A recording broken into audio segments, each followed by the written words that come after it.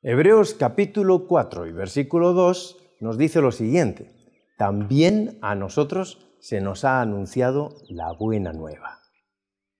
La vida está llena de pequeñas decisiones que tomamos cada día. En cada una de ellas tenemos la oportunidad de sentir que estamos vivos, que somos dueños de nuestra realidad. Ejercemos nuestra libertad de pensamiento y acción casi sin darnos cuenta. Muchas de esas pequeñas decisiones inconscientes son las que limitan nuestra felicidad o la de otros, sin ni siquiera darnos cuenta. Otras, por el contrario, cambian el rumbo de nuestra historia y le dan un completo sentido. Podemos equivocarnos o actuar de manera adecuada. En cualquier caso, ejercemos nuestra libertad de pensamiento y de acción, pero no garantizamos la esperanza. La vida en Cristo es una vida de completo reposo, está llena de confianza continua y apacible. La esperanza no se garantiza en nosotros mismos, sino en quien nos da la vida. Nuestra debilidad se une a su fuerza, nuestra ignorancia a su sabiduría, nuestra fragilidad a su poder infinito y eterno.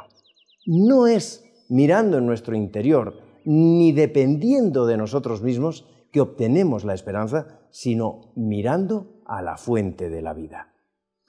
El reposo y el descanso no se obtienen en la inactividad, sino en la espera activa, en la confianza de la intervención divina en cualquier circunstancia, en la seguridad de que todo está bajo su control.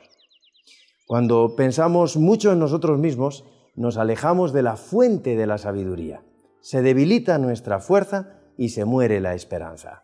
Las muchas ocupaciones, los millones de pequeñas decisiones a las que nos vemos obligados a ocuparnos distraen nuestra atención de lo trascendente y apartan nuestra mirada del Salvador. Los placeres del mundo, las preocupaciones, las tristezas de la vida, nuestras faltas e imperfecciones, con demasiada frecuencia nos centran en nuestros propios defectos y debilidades y nos separan de Dios.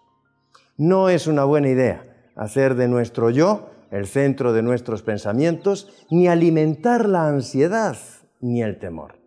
La solución está en centrar nuestra vida en la fuente de la fortaleza, encomendar a Dios la custodia de nuestra alma y confiar en Él. Solo así tendremos una vida de verdadero reposo.